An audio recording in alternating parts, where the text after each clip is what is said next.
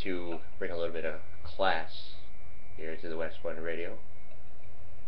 Might as well have my coffee in a saucer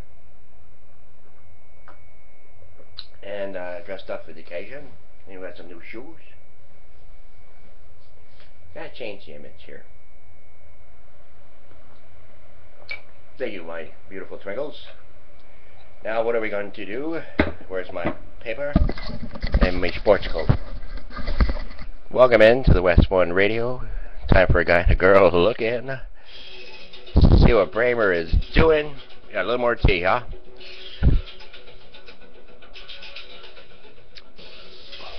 Alright, it's all about making better choices here.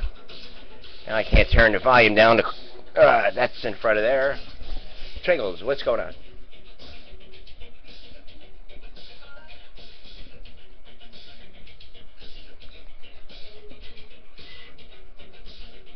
Anyway, uh, Twinkles, what's going on?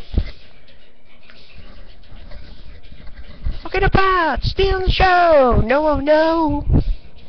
Talking about stealing the show and I'm not letting go.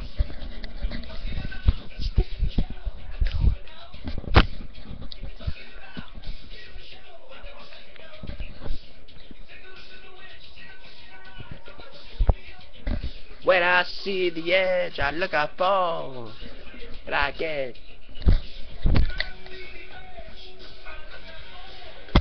I get deeper and deeper. Whoa, whoa. Alright, uh, yes. You know, the change that we're looking for is changing thoughts, ideas, behaviors towards things, possibly things that in the past were no good, you know?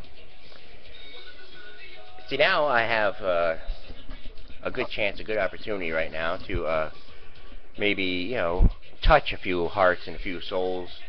You know, because I know. I mean, I, I look at the feed, and sometimes I see people are hurting, people are going through difficulties.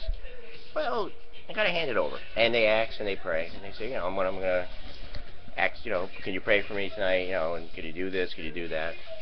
Well, we certainly can.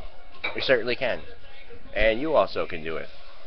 Uh, you just got to start changing things that are do that.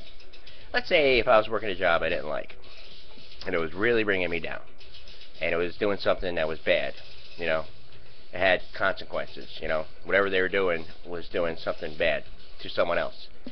Would I stay there? All depends. All depends, you know.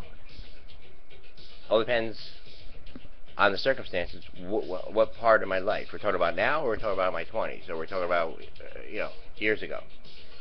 Probably back then I would do anything, you know.